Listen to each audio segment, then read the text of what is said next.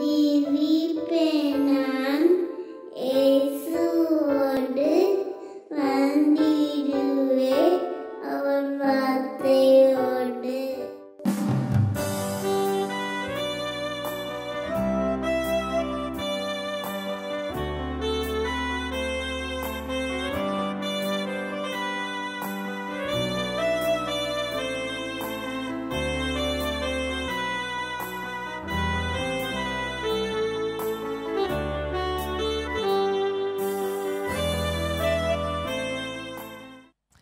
அதாவது நீங்கள் வந்து புரிஞ்சுக்கிட்டது எப்படின்னு கேட்டிங்கன்னா இந்த பைபிள் இருக்குது பார்த்தீங்களா இந்த பைபிள் வந்து பார்த்தீங்கன்னா ஒரு- ட்ரெஷர் ஒரு பொக்கிஷம். இந்த பொக்கிஷம் எப்படி ஒர்க் பண்ணும் அப்படின்னா you how long you dig inside தோண்ட தோண்ட தோண்ட தோண்ட தோண்ட தான் உள்ளுக்குள்ளே இருக்கிற மறைப்பொருள் உங்களுக்கு கிடைக்கும்.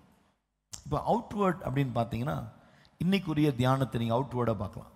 இன்னைக்குரிய தியானம் எடுத்து வாசிங்க. ஒன்று நாளாகவும் ஆறு பத்தொன்பது வாசிங்க.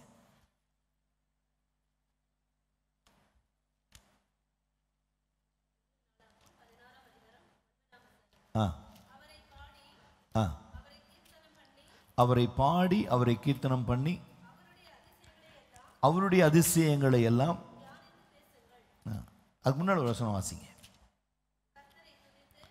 ஆ. கத்தரை துதித்து பாருங்க இதில் வந்து சொல்லி கொடுக்க எப்படி சொல்லி கொடுக்குறாரு பாருங்க ஒன்பதுல. ஏழு தொடங்கி வாசிங்க. இது ஒன்பது எங்கே வருதுன்னா ஏழு தொடங்கி வருது. பதினாறு ஏழு எடுத்தீங்கன்னா அதில் ஹெட்டிங் ஒன்று இருக்கும்.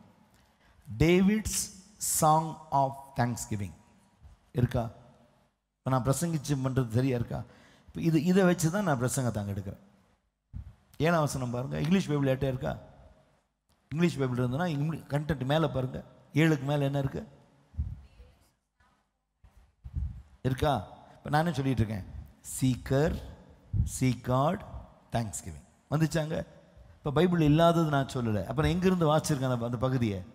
ஏழு தொடங்கி.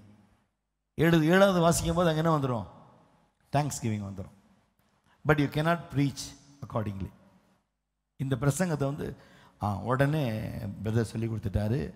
அப்போ அந்த பகுதியில் மேலே போனோம்னா ஹெட்டிங் வரும். அதை எடுத்து பிரசங்கம் பண்ணிடலாம். நான் அது அப்புறம் யூதாஸ் நாண்டுகிட்டு செத்தான் அப்படின்னு வரும். Judas Iscariot killed him self அப்படின்னு வந்துச்சுன்னா அது ஓ பிரசங்கத்தில் போட்டுருவீங்களா? எடுத்து வாசிங்க பார்க்கலாம். ஆ.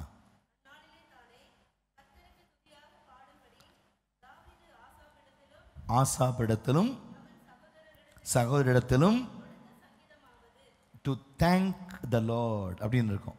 தேங்க் அப்படிங்கிற வார்த்தை என்ன அர்த்தம் தெரியுமா? யாடா.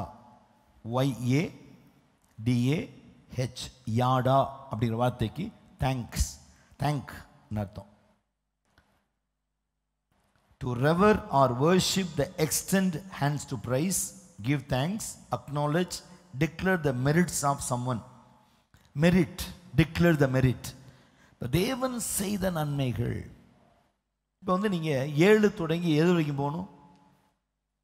அதையும் சொல்லித்தரேன் உங்களுக்கு. எப்படி மெசம் எடுக்குதுன்னு சொல்லித்தரேன். ஏழாம் ஏழாம் வசனத்துக்கு மேலே ஒரு ஹெட்டிங் இருக்குது அதில் என்ன இருக்குது David David's song of thanksgiving தாவி தாவீதனுடைய நன்றி செலுத்தும் பாடல்கள் ஏழு தொடங்கி இருக்குது ஏழுலேருந்து ஆரம்பிக்குது. எங்கே முடியுது? இருபத்தி மூணில் முடியும். இருபத்தி மூணுங்கிறது கொஞ்சம் பிரைட்டாக இருக்கும் பாருங்கள் டுவெண்ட்டி த்ரீங்கிற வேர்டு பிரைட்டாக இருக்கும். இருபத்தி ரெண்டு வரைக்கும் ஒரே மாதிரி கண்டென்ட் இருபத்தி மூணு பிரைட்டாக இருக்கும். இரு கொஞ்சம் ஸ்ட்ராங்காக எழுதியிருப்பாங்க. இருக்கா? உங்களது இல்லையா? வேறு பைபிளில் இருக்கும். இருபத்தி மூணு உங்களில் இருக்கா? இருபத்தி மூணு அங்கே இருக்கா. அப்போ ஏழு டு இருபத்தி மூணு. இப்போ இதெல்லாம் இதெல்லாம் பார்க்கணுமா பாஸ்டர் ஆமாம் ஒவ்வொரு எழுத்தையும் உத்து உத்து பார்க்கணும். ஏழுக்கு அப்புறம் எட்டு பார்க்கணும். எட்டு லைட்டாக தான் இருக்குது ஒம்பது லைட்டாக தான் இருக்குது பத்து லைட்டாக தான் இருக்குது அப்படியே லைட்டாக ஒன்று வந்து ஸ்டோ ஓ பிரைட்டாக இருக்குது இப்போ இருபத்தி மூணு இப்போ ஏழுலேருந்து இருபத்தி மூணு வரைக்கும் எடுக்கணும். இந்த ஏழுலேருந்து இருபத்தி மூணை படித்து படித்து படித்து படித்து அதிலிருந்து ஒரு அஞ்சு பாயிண்ட் எடுக்கணும். அதில் வர்றது தான் காட்ஸ் கமாண்ட்மெண்ட்ஸ் அண்டர்ஸ்டாண்ட் ஆச்சா உங்களுக்கு? ஒரு தடவை ஒரு பிரசங்கத்துக்கு ஒருத்தர் கேட்டார் என்கிட்ட. மேல் வீட்டில் இருக்கும்போது. பாஸ்டர் நான் பிரசங்கம் பண்ணும் ஆசையாக இருக்குது சொல்லி கொடுங்க. வீட்டுக்கு வந்துட்டார். நான் அப்போது சொல்லி கொடுக்கறதுக்காக சரி வாங்க வீட்டுக்கிட்ட வாங்கன்னு கூப்பிட்டுட்டு பைபிள் நோட்ஸ் எல்லாம் எடுத்துகிட்டு வா நோட் எல்லாம் எடுத்துகிட்டு வா நான் சொல்லித்தரேன் உட்காந்துக்கிட்டேன் அவருக்கு என்னுடைய பைபிள் எடுத்து கொடுத்தேன். உங்கள் பைபிள் கொடுங்க அந்த படி இதான் பைபிள் படி. கொடுத்துட்டேன். இப்போ எப்படி பிரசங்கம் பண்ண உங்கள் பைபிள் கொடுத்து நான் பண்ணுறேன் நீ ஒரு அரை மணி நேரம் கொடுங்க நான் எடுத்துகிட்டு உங்களை கூப்பிட்றேன் சரி. இப்போ என்னுடைய பைபிளில் சென்டரில் கண்டினியூவஸ் வேர்டுன்னு இருக்கும். உங்கள் பைபிள் ரெஃபரன்ஸ் இருக்கும் எல்லாத்துலேயுமே. இருக்கா? சரி. இந்த பைபிளில் பதினாறு ஒம்போதுக்கு ரெஃபரன்ஸ் இல்லை. இந்த பைபிளில் இல்லை. உங்களுக்கு இருக்குன்னு நினைக்கிறேன். எனக்கு தெரியல. எனக்கு இல்லை. அவர் அன்றைக்கி அந்த பிரசங்கத்தை அவருடைய பிரசங்கத்தை எடுத்து வசனத்தை எடுத்து வச்சுட்டு அதை பார்த்தா ரெஃபரன்ஸ் இல்லை. பிரதர் பதினாறு ஒன்று ரெண்டு நாலு அஞ்சு ஆறு ஏழு எட்டு இருக்குது இன்றைக்கி பேச வேண்டியது ஒம்பது. அப்புறம் எட்டுக்கு அப்புறம் பதினொன்று தான் இருக்குது பாஸ்டர். பதினொன்று இருக்குது பன்னெண்டு இருக்குது பதிமூணு இல்லை பதினாலு இருக்குது பதினஞ்சு இல்லை பதினாறு இருக்குது பதினேழு இருக்குது பதினெட்டு இல்லை பத்தொம்போது இருக்குது இருபத்தொன்று இருக்குது இருபத்தி ரெண்டு இருக்குது அதை தவிர எல்லாம் இருக்குது முப்பத்தாறு வரைக்கும் இருக்குது என்ன பண்ணுறது அப்போ நாம் எங்கே போகல எதுக்குள்ளே போகல ரெஃபரன்ஸ்குள்ளே போகல புரியும் நினைக்கிறேன். அங்கேயே அவர் ஆஃப் ஆகிட்டார் அப்புறம் எப்படி எடுத்தீங்க? ஒன்று ஒன்றா படி. அப்போது on that day David first deliver the psalm psalm அப்படிங்கிறது சங்கீதம். அங்கே வருதா? Sing ye to him sing psalms to him வந்துச்சா அப்போ அதை வந்து என்ன பண்ணிட்டேன்? சிங் அப்படிங்கும்போது எதுக்கு பாடுறோம் ஆண்டவரை? அவர் செய்த நன்மைகள். அப்போது யார் பாடுவா? நன்மையை பெற்றுக்கொண்டவங்க. நன்மை எப்படி கிடைச்சது? தேடுனாங்க. யார் தேடுவா? அப்போ சீக் சீக்கர்ஸ் வந்துருச்சா? சொல்லித்தரேன். Seekers seekers to seek God தேடுறவன் வாட்சா காணான்னு தேடுவான் வச்ச பணத்தை காணான்னு தேடுவான் எது தொலைச்சிட்டு தேடுறவன் இருக்கான் அவன்லாம் கடவுள் நன்மை செஞ்சிருவார் அவனுக்கு. அவர் என்னை நோக்கி கூப்பிடு கூப்பிடுகிறவனுக்கு செவி கொடுக்கிறவர் தேடுங்கள் கண்டடைவீர்கள். தட்டுங்கள் திறக்கப்படும். கேட்கிறவன் பெற்றுக்கொள்கிறான் அந்த மற்ற ஏழு ஏழுக்கு போயிருங்க. இப்போ யார் தேடணும் யாரை தேடணும்? இப்போ சீக்கிரம் புரிஞ்சிச்சா அவங்களுக்கு யார் தேடுறா? ரச்சிக்கப்பட்டவங்க யாரை தேடுறாங்க? ஆண்டவர். தேடுகையில் கண்டடிச்சிட்டாங்க. இப்போ ஆண்டவரை கண்டுபிடிச்சோன்னு அவங்க என்ன செய்வாங்க உடனே? உள்ளத்திலிருந்து பாடல் வருது. ஒருத்தன் சந்தோஷமாக ஒரு மனுஷன் வாழ்க்கையில் எப்போ சந்தோஷம் வரும்? அவரை பார்க்கும் பொழுது. சந்தோஷமாக இருக்கும்போது சங்கீதம் பாடுறான். வந்துச்சா கனெக்ட் ஆகிடுச்சா அப்புறம் பார்த்தோன்னே நீங்கள் நினச்சிக்க வேண்டாம். எப்போ பார்த்த? அப்புறம் தரேன். அப்படிங்கிறது இல்லை. பார்த்தோன்னே கிடைச்சாச்சுன்னு அர்த்தம். அப்போது நன்றி சொல்கிறோம் நன்றி சொல்லணும். நன்றி சொன்ன பிறகு எப்படி நன்றி சொல்லிட்டோம்? பிறகு நன்றி சொன்ன பிறகு விட்டுறக்கூடாது தொடர்ந்து ஜபத்திலே இருக்கணும். அப்போ ஜபத்திலே இருக்கும்போது தான் உனக்கு அவருடைய கற்பனைகளும் கட்டளைகளையும் நினைப்பூட்டிகிட்டே இருப்பார். இந்த வழிகள் நட நடக்காத போ போகாத செய் செய்யாத. ஆண்டவர் உணர்த்தினா மட்டும் செய்யும்போது தான் நன்மை உண்டாகும். அவர் சொல்கிறத செய்யும் பொழுது மட்டும்தான் நமக்கு நன்மை உண்டாகும். எப்படி சொல்லுவார் உங்களுக்கு?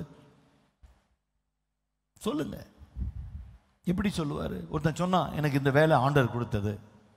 இந்த வேலை ஆண்டவர் கொடுத்தார். சரி ஆண்டவர் கொடுத்தா என்ன பண்ணியிருக்கணும்? ஆண்டவரை? உன் வேலையில் ஆண்டவர் கொடுத்த வேலையில் ஆண்டவர் எதுக்காக வேலை கொடுக்குறாரு உன்னைய?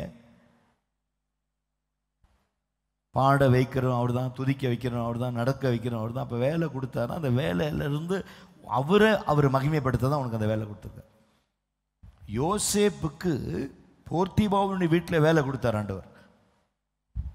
குழியில் விழுந்து செத்து போயிடுவான்னு கிடந்தவனை சகோருடைய இருதயத்தை மாற்றி தூளிலிருந்து வெளியே விட்டு சரி எகிப்தின் வியாபாரிகளுக்கு வித்தலாங்கும் போது ஏன் போர்த்திபா வராங்க?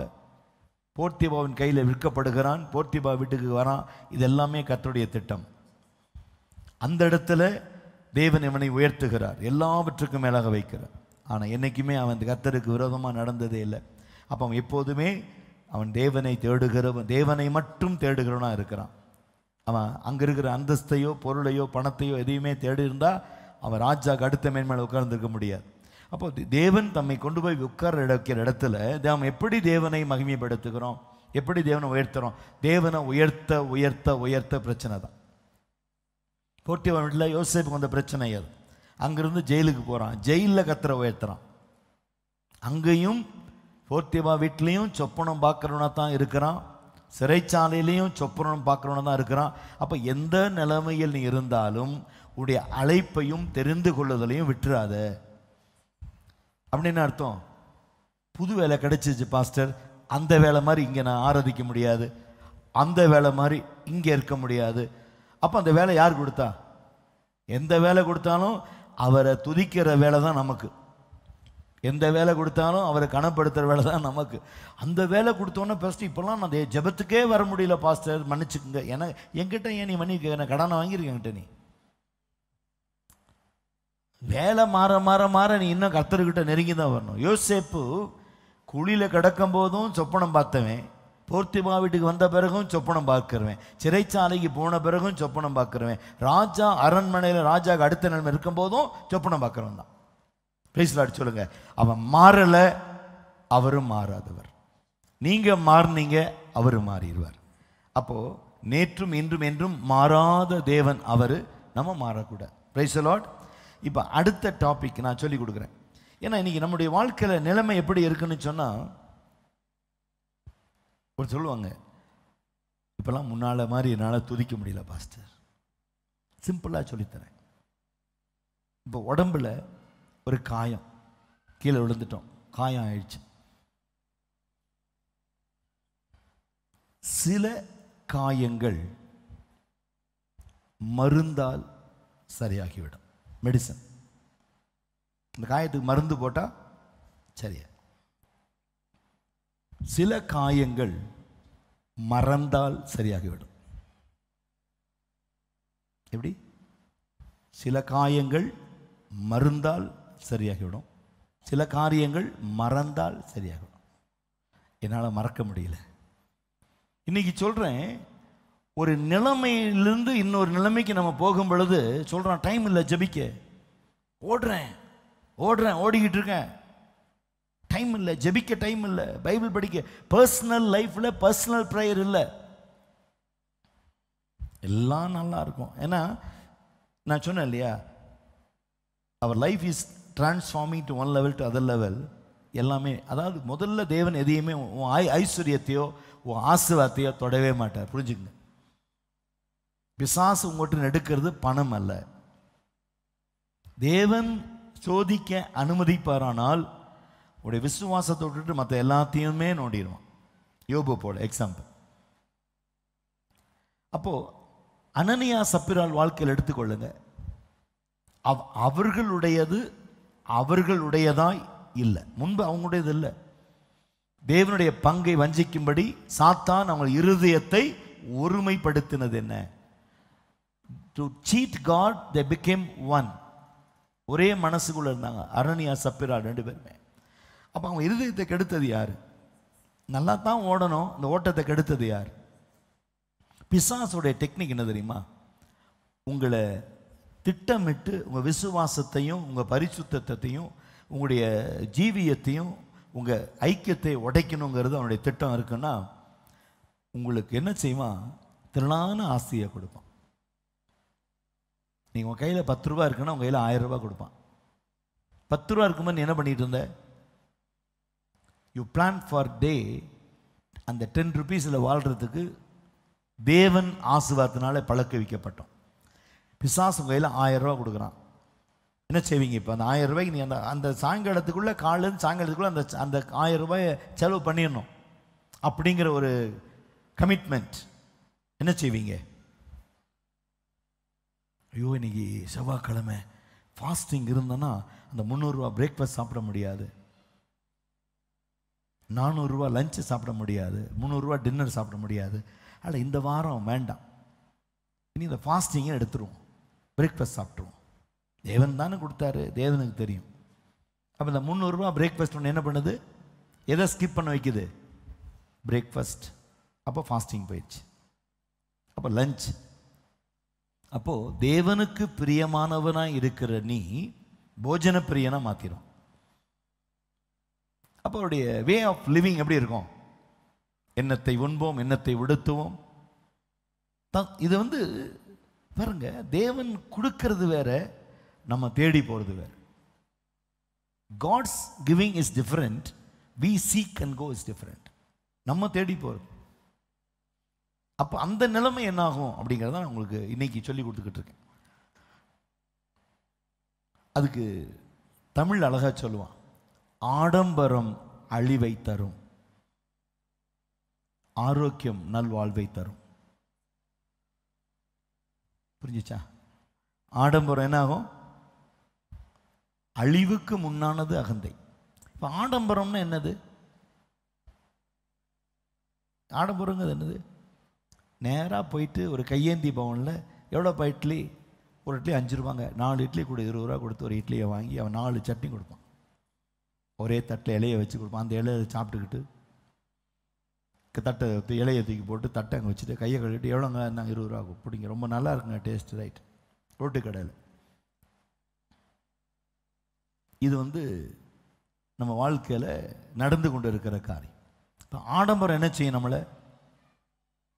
என்ன செய்யும்?